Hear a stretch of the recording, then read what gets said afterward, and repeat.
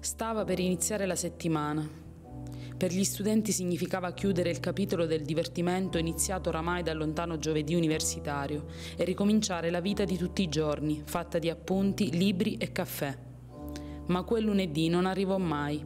Era il 6 aprile del 2009 e alle 3.32 una scossa violenta di terremoto distrusse una città intera, l'Aquila, spazzò via la vita di 309 persone e ne distrusse molte altre.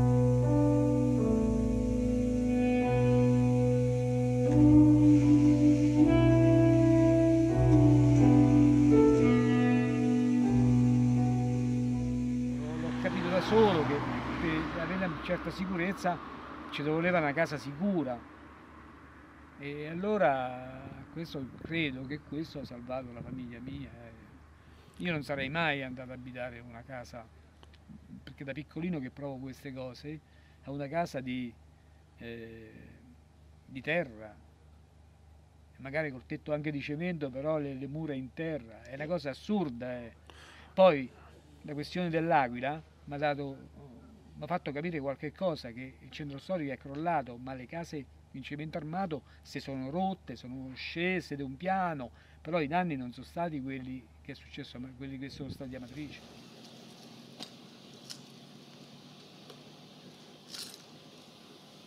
Torre civica, XIII secolo, Corso Umberto I, Chiesa di Sant'Agostino.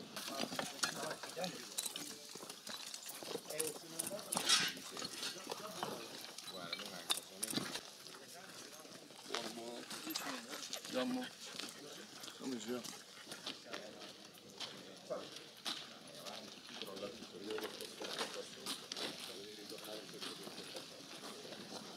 una questione veramente di consapevolezza. Le persone devono sapere che i terremoti ci possono essere, eh, così come quando vanno in macchina sanno che ci può essere un incidente d'auto e quindi si mettono le cinture, eccetera. hanno un'assicurazione, fanno controllare la macchina. Deve essere la stessa cosa per i terremoti. Se non è così, quando viene il terremoto non siamo pronti. Cioè, uno può dire che noi mettiamo le cinture se no ci fanno le multe, ma in realtà abbiamo obbligato noi, il legislatore, a dire facci la multa se non porto la cintura, perché così sono sicuro. È uguale per i terremoti. Eh, non si può aspettare che un terremoto costruisca una regione, cioè distrugga una regione per costruirla meglio.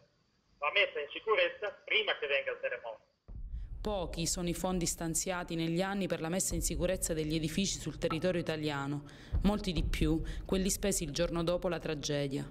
Oltre il 40% del suolo italiano è a rischio sismico elevato e il 60% degli edifici è stato costruito prima della metà degli anni 70, quando sono entrate in vigore le prime norme antisismiche. edificio vetusto perché possiamo vedere la muratura in, in pietrame informe con una malta eh, di scarsissime caratteristiche, molto decoesa.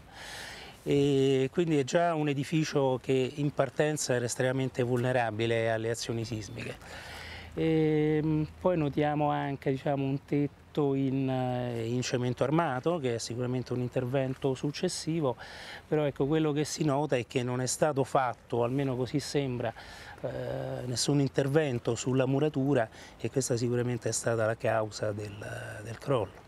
Quindi i tetti in cemento armato pesantiscono la muratura. eh. Sì, sicuramente c'è un aumento, un aumento del peso. Quante, quante strutture sono fatte così nel- diciamo, nella città di Matrice, comunque nei luoghi colpiti e che quindi hanno terminato il crollo? Beh, noi ne abbiamo trovate numerose, diciamo, con tetti rifatti in cemento armato, abbiamo trovato peraltro, questo devo dire, sia edifici eh, diciamo, che sono crollati, sia anche che sono rimasti in piedi.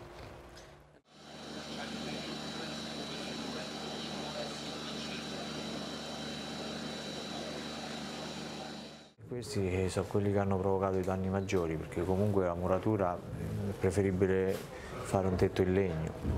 E perché secondo lei allora ehm, diciamo, negli anni si sono fatti tutti questi tetti in cemento armato su eh, delle pareti in muratura?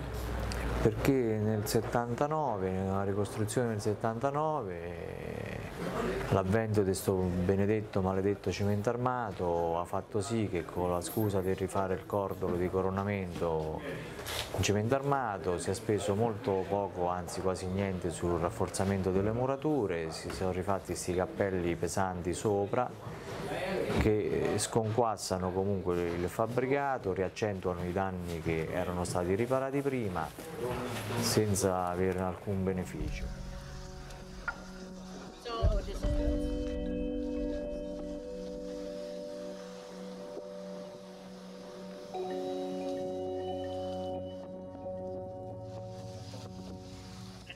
Non ha avuto danni l'altra sera, anche se era proprio al limite della zona del terremoto, esattamente come a Matrice. Matrice era a sud della zona del terremoto, Norcia a nord. A Matrice è stata rasa al suolo, Norcia a nord, perché Norcia era stata restaurata bene dopo l'ultimo terremoto e ha avuto pochissimi danni, neanche un ferito. Amatrice avrebbe dovuto essere nella stessa situazione, senza aspettare di essere rasa al suolo da un terremoto. Fate passare le cane funebri! Fate le cane funebri con i carabinieri! Fateli passare!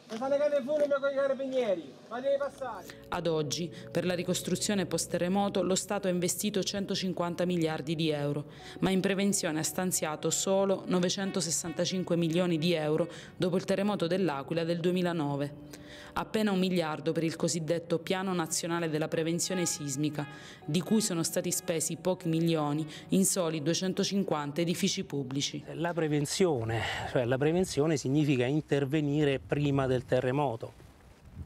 Eh, qui però bisogna eh, comunque considerare anche dei vincoli di tipo politico, economico, perché eh, mentre per esempio per la riparazione eh, diciamo, si può eh, sforare il vincolo di stabilità, mentre non mi risulta che questo si possa fare invece per le opere di prevenzione. Secondo l'OICE, l'Associazione delle Organizzazioni di Ingegneria, Architettura e Consulenza Tecnica Economica, l'adeguamento antisismico del patrimonio immobiliare italiano vale 36 miliardi di euro, un quinto dei soldi spesi negli anni per la ricostruzione degli edifici distrutti.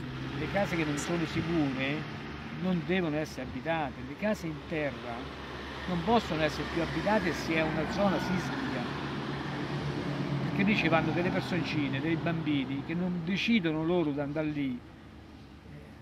Ce li porti? Eh, ce li portiamo noi, genitori, manco noi non, non siamo, tanta gente non è all'altezza di capire se è, lo Stato capisce ci stanno i tecnici che stanno apposta per questo e quindi loro dovrebbero decidere quella casa è abitabile o non è abitabile. Sappiamo quali sono gli edifici su cui bisogna intervenire subito. Ce lo dice il rapporto Barberi che per la prima volta nel 1999 ha censito tutti gli edifici pubblici che devono essere messi in sicurezza contro il rischio sismico e idrogeologico. E il problema è naturalmente gli investimenti, gli investimenti dello Stato, ma dipende anche dai privati cioè necessario che ogni volta che si fa una ristrutturazione si pensi non soltanto diciamo, all'estetica eh, ma anche alla struttura e al comportamento, diciamo, alla sicurezza sotto sisma. Secondo lei quindi nel caso in cui le case fossero state costruite diversamente avremmo avuto meno morti? Certamente, molti certamente, di meno. molti di meno, molti di meno.